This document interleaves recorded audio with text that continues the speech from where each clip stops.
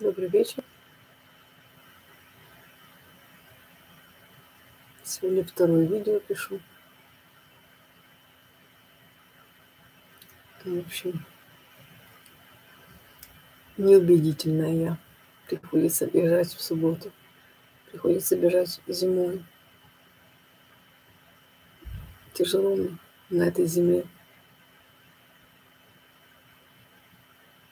Да, по Матфея.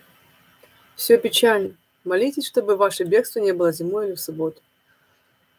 Зима началась, у меня началось ускорение. Второе видео в первый день зимы. Ничего хорошего мне не вещает. И новость очень неприятная для меня, в всяком случае. Да, час от часу не легче. Смотрела вчера фильм на Наэль. Старый фильм уже такой, 80-х годов. Ну, говорят, замечательный рождественский фильм. Неплохой действительно фильм, но тема мне другая волнует. Заболевание старости меня волнует. У мамы главной героини была болезнь Альцгеймера. И она мне, эта болезнь, дала понимание, что это такое. Природа этого заболевания. Природа этого заболевания. Бог святой, Бог благой, Бог дает людям счастье. Аминь. Почему же старики должны сходить с ума в конце жизни? Почему? Почему они должны быть как дети уже, понимаешь, в таком смысле, в отрицательном смысле? Вот. Что о них нужно заботиться, это другой вопрос. А то, от чего погибла моя там дальняя, считается, родственница, это уже, это уже очень печально. Ну, у меня вообще хороших вестей мало, правда? Вот. Единственное, что я хочу, чтобы люди жили.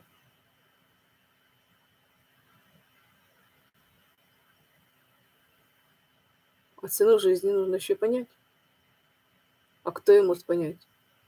Людям лень учиться, лень познавать, лень думать, лень анализировать, лень рассуждать, лень искать истину, лень читать Библию и другую литературу тоже желательно.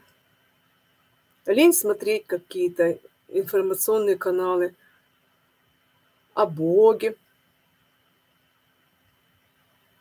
лень молиться, поститься, лень ходить в церковь. Все это порождает безумие. Потому что, оказывается, жизнь вечная существует только тогда, когда Дух наш наполняется истиной, Словом Божьим. Оказывается. Ну, мало кто об этом говорит, потому что нас что учит церковь? Что мы умрем, и все там окажемся. Хорошо, где там, никто не знает, правда, уже ученые там вообще смеются – уже больше можно поверить в то, что мы произошли от взрыва, чем в то, что есть где-то вечность, и мы куда-то унесемся после смерти. Вот. Но, к сожалению, я неубедительная. Моя родная сестра мне почему-то считает нужным закрывать рот. Ну, я там настроили э, в церкви служителя, что это очень опасное учение у меня. Я какой-то страдаю э, тяжелой, я не знаю, чем там я страдаю, и мне нельзя слушать, и она мне закрывает рот, лишь бы я молчала. Вот, но оказывается, мне уже смешно, э, потому что информация серьезная, этим людям открывалась, например, истина, но они ее отвергли. Вот, и уже болеет там, кто-то умер, кто-то уже онко болеет, но Бога не бояться. Почему? Мне вопрос, почему нету страха Божьего? Ну, человек умер. А, для них это смерть, это ничего, это приобретение. Все. Приткнулись. Лиля, тебе там Бог потом откроет, что-то будет. Как приобретать душ их не волнует. То, что там 100 человек спасется, их тоже это не волнует. А, ну, по барабану, понимаете, что э, вообще-то вокруг полно умных людей, по барабану. Что люди учатся. Они не учатся, вообще-то, в принципе. Ну, может, когда-то учились, потом перестали, да? Бывает такое, что тоже останавливается. И вот. Выучили там пару, я уже вчера, сегодня говорила уже. Пару фраз из Библии выучили и бьют тебя по голове этими фразами, и рот закрывают. Ну, умные в своих глазах. Вот. А когда ты им говоришь э, что-то по существу, тебя выгоняют. Ну, иди, потому что э, так можно заткнуть рот человеку, который показался тебе умнее. Все. Других аргументов нету. Гордыня. Страшное оружие. Час от часу не легче, потому что погибла женщина от пожара. 70%, 70% ожога, старенькая. Ну как старенькая, 42 года рождения. У меня еще живут родственники такого возраста. Но самое печальное, что у человека проблемы были уже. Вот. Старенького. И я точно знаю, что она поджигала у себя в комнате. Ну, ну вот хотелось ей согреться, понимаете, костер разжигала. И сгорела 70% уже. Ну, так беду какую наделала родственникам. Не дают похоронить. Следствие идет. Кто-то сжег тещу старенькую, понимаете, в одном доме живут. Страшно, правда? Что ж такое? Где ж Бог был? Да, скажем всем. Ну, я, я верующий, я, я люблю Бога. Я знаю, что он что, что-то говорит через эти все ситуации. Людям по барабану, в принципе. Вообще по барабану, понимаете? Занимает посты в по барабану. Почему смерти? Ну, там разберемся. Мы умрем, узнаем, почему смерти. Такая логика, понимаете?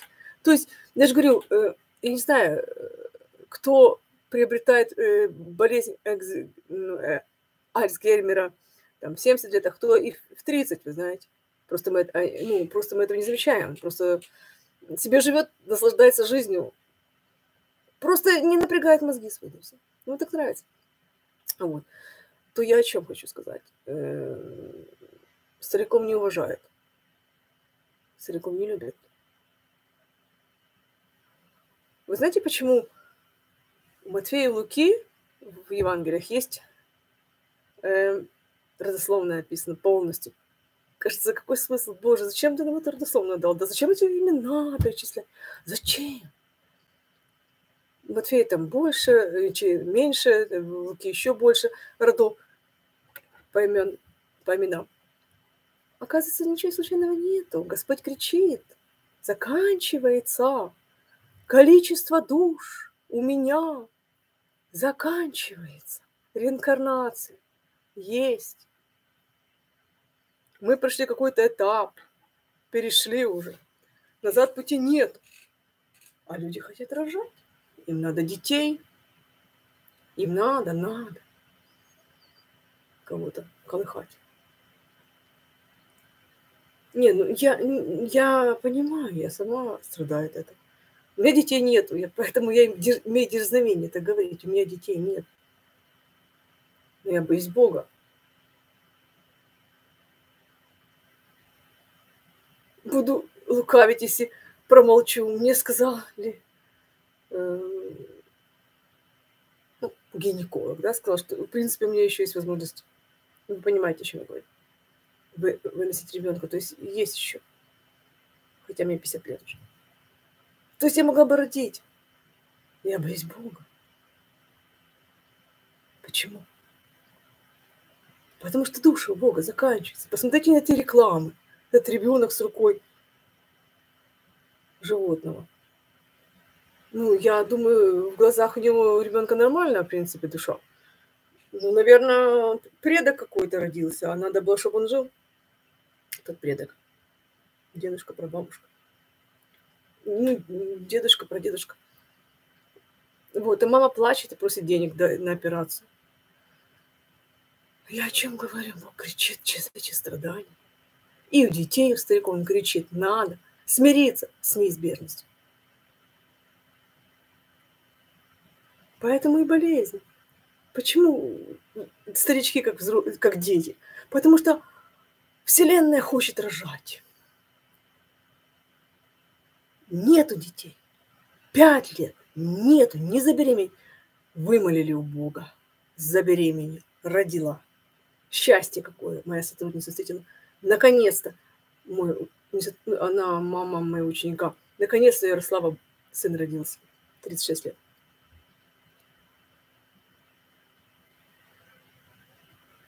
А я ничего не могу сказать.